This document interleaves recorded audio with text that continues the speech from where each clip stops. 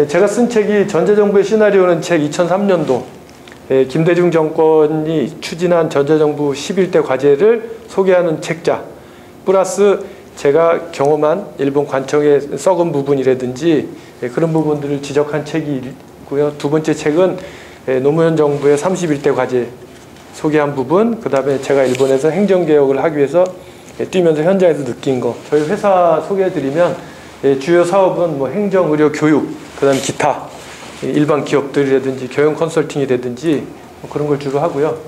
일본 시장은 한국 기업으로서 가장 접근해야 될 매력적인 시장이라는 걸 여러분들 대충 아실 거잖아요. 그죠? 네, 그 부분을 역사적인 뭐 경제적인 여러 가지를 다 공부를 해야 된다는 거죠. 여러분들한테 말씀드리고 싶은 거는 한국 기업들이 일본 시장을 진출해서 많은 실패를 겪는데 왜 실패를 했는지 아는 사람은 제가 별로 본 적이 없어요.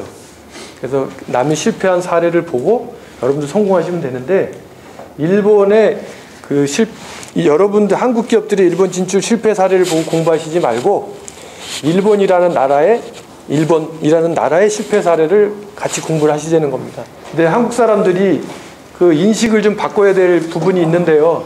예, 공감을 해주셨으면 좋겠어요. 예, 일본 전문가가 대한민국엔 너무 많아요. 제가 보기에는. 그게 문제인데 일본 전문가의 기준이 뭡니까? 여러분 생각하시기에. 일본에서 대학교 졸업했으면 일본 전문가인가요? 일본 기업에서 뭐 20년간 일했으면 일본 전문가인가요? 그 기준 있지 않겠어요? 여러분들이 생각하시는 일본 전문가의 기준을 잘 생각해 볼 필요가 있을 것 같고요. 또 하나는 아까 말씀드린 쌩얼의 일본을 보신 적이 있는가 한번 생각해 보세요. 아마 제가 오늘 말씀드린 걸 보시면 듣던 거하고 다르다라는 걸 느끼실 거예요. 세 번째가 남이 하면 순애보 내가 하면 스캔들이라는 말 거꾸로 쓴 것 같지 않습니까? 근데 한국 사람들은 제가 보면 꼭 이런 식으로 얘기를 해요. 제가 언젠가 매일지영제 신문 기자를 만난 적이 있어요. 그 사람이 신문 기사를 썼는데 보니까 한국의 전자정부를 연락이 깼더라고요.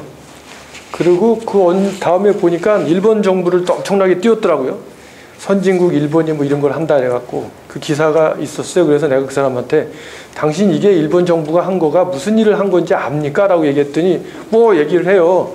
근데 내가 보기에는 순 그 저 프레스 릴리스한 그, 그 그런 수준의 기사였어요. 그러니까 그 사람이 그 얘기를 해요. 한국 정부가 잘한 건 기사가 안 된다고 그러더라고요. 왜? 아니 내, 내 자식이 그렇지 않습니까? 내 자식이 공부 못하면 야 인마 너 공부 공부 못하는 자식놈이 모처럼 책상 앞에 앉아서 공부하려 했더니 아빠가 딱 들어서 한다는 얘기가 공부는 막 네가 뭐 공부한다고 되냐 막 이런 식으로 얘기하면 걔 공부할 마음이 나겠어요? 아까 얘기했듯이 한국의 공무원들이 그만큼 열심히 해서 세계에 그 돈 가지고 만드는 건저 진짜 칭송해 줘야 된다고 봐요. 그러니까 그런 것처럼 잘한 건 잘한 거, 못한 건 못한 거를 정확하게 알고 얘기해야 되는데 무조건 일본이 하면 잘한 거고 우리나라가 하면 잘못한 거라고 얘기를 많이 해요. 일본은요, 에, 10년 전에 전자주민카드를 도입했어요. 전자주민카드, IC카드. 우리나라는 지금 올해도 도입하려는데 실패했잖아요. 그걸 보고 선진 사례라고 얘기를 하기 쉬운데, 그죠? 선진 사례잖아요. 10년 전에 도입했으니까. 자, 에, 제가 질문 드릴게요. 일본이 10년 전에 전자주민카드를 도입을 했는데, 일본 국민이 1억 3천만 명이에요. 그 전자주민카드가 몇 장 정도 발급이 돼 있을 거라고 생각하십니까? 적어도 30%는 되지 않겠어요? 30%요? 30%면 한 4천만 장. 일본에서 납세, 일본에서 세금을 내고 있는 납세자로서 도저히 간과할 수 없기 때문에 에, 그 행정개혁 검토위원회에 들어가서 뒤집어 놓고 있는 거예요. 600만 장입니다. 전자주민카드가 현재 600만 장 보급돼 있다고요. 1억 3천만 인에서. 그걸 잘했다고 칭찬해 줘야 되겠습니까? 그거를 전제로 여러분들 비즈니스 하고 계시지 않습니까? 예를 들어서 1억 3천만 명이 전자주민카드를 갖고 있다는 걸 전제로 비즈니스를 하면 아무것도 안 된다는 거예요. 무, 문제의 본질을 아셔야 된다는 거죠. 그 다음에 우리가 전자정부 서비스가 잘 되려면 본인 인증을 해야 되잖아요. 공인 인증서가 있어야 비즈니스도 되고 상업도 되고 인터넷 뱅킹도 되잖아요. 일본의 공인 인증서는요. 전자 주민 카드에 있는 IC 칩에만 내장할 수 있게 돼 있어요. 법에. 그러면 일본의 공인인증서가 몇 장 정도 보급돼 있을 것 같습니까? 작년에요. 총무성에서 일본 행, 일본의 행정안전부가 대대적으로 자랑을 했어요. 신문에다가 공인인증서 드디어 100만 장 돌파.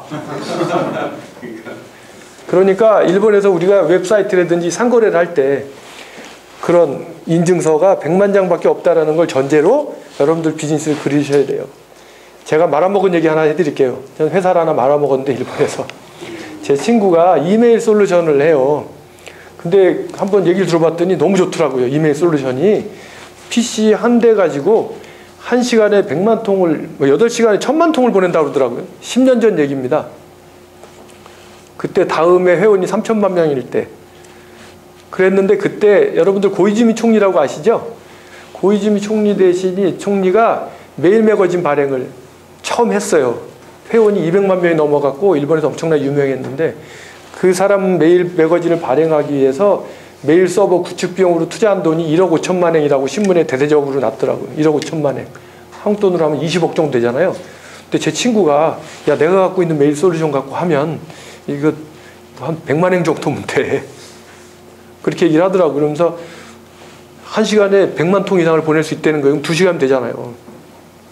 그래가지고 야 이거 갖다 팔면 돈 되겠다 싶어갖고 일본에 가져가갖고 이제 팔기 시작했어요. 카타로그에다 뭐라고 썼냐면 한 시간에 100만 통을 그냥 8시간에 1000만 통을 보낼 수 있는 솔루션. 이게 뭐 500만 그때 1000만 원에 팔았어요, 내가. 1000만 원 그래 팔았는데 안 팔리더라고요. 그래서 결국은 우여곡절 끝에 말아먹었는데요.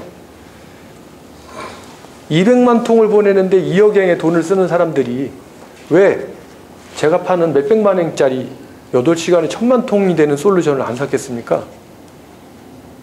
한국 제품이었기 때문에요? 아닙니다. 그때 당시에 여러분들이 아는 락텐 있죠? 락텐, 락프텐, 쇼핑몰.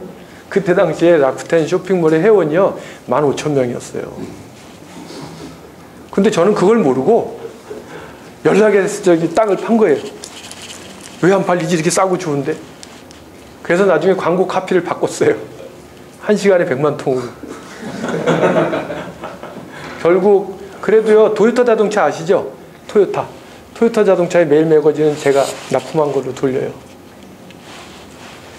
이 정도 되면 우리나라도 잘난 거 많다는 거 아시죠? 미스매칭이 많다는 것도 아셨을 거예요.